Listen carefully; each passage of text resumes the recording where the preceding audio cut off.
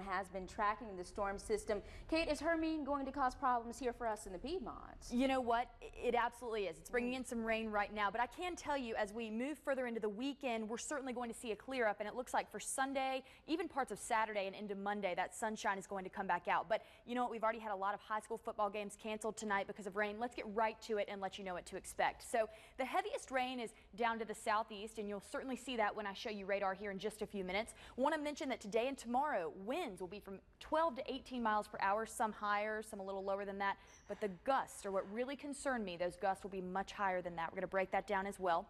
And then for the holiday weekend, as I mentioned, we will have increasing sunshine and those winds will begin to diminish, which is excellent news if you're staying here at home. But if you have family down at the beach, I want to let you know exactly when Tropical Storm Hermine is going to affect them and what it's going to do. So right now, we've got winds at 50 miles per hour, gust up to 65 miles per hour as Tropical Storm Hermine continues to move up the coast. Take a look at this. It, it'll be in South Carolina tonight by about 8 o'clock.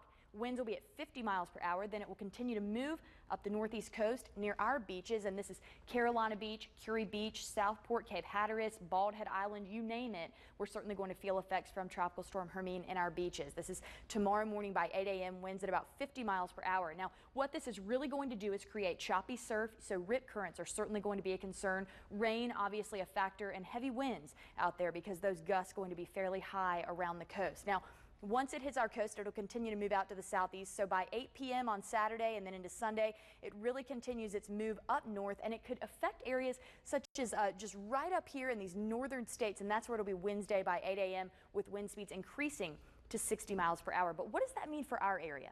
Well, take a look at radar with me right now because this is what's happening and you can see a good number of showers moving in and this is why because we've got just still a nice swirl down here headed up from Florida into South Carolina pushing that moisture up to our area and as I mentioned a little earlier certainly the Piedmont Triad will notice some of that coming in tonight. I can tell you Randolph County certainly going to feel that Montgomery County, Moore County. So let's tell you about the precipitation what we're seeing as far as rain totals are concerned. Now right down here near Wilmington around two inches of rain and then even even further south, we're seeing anywhere from four to six inches of rain as we continue to move up uh, toward New Bern. We've got three inches of rain, so anywhere in between Wilmington to the New Bern area, really looking at two to three inches of rain at this point. Rain total is going to be a little less as we approach areas like the Piedmont Triad and into Raleigh, looking more around two inches at this point. But you know what? That's still a lot of water to be dealing with. So anything you're doing tonight, make sure you take that umbrella and you know what? Make sure you make plans inside because it will be raining into tonight. But as I mentioned, tomorrow as the weekend really kicks off,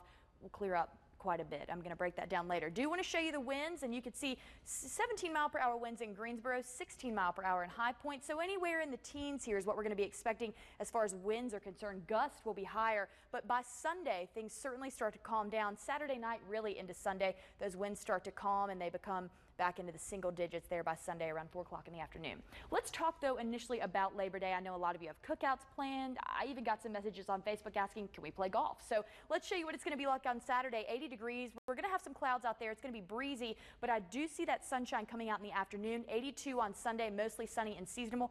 That will be your golf day. And then by Monday, we're up to 87, warming up, sunny skies, perfect for a cookout. Temperatures out there right now in the high 60s to 70s around the Piedmont Triad. So this evening, we're going to be at 70 degrees, partly cloudy with showers and storms possible into the evening hours. Overnight tonight, we're at 60 degrees with showers likely, and those clouds will be with us. Into tomorrow, we're at 80 degrees. We've got a 20% chance for a shower, and it looks like that'll take place in the morning, and then the sun will come out over the next three days. We are in the 80s with the only storm chance being tomorrow. Guys, back to you.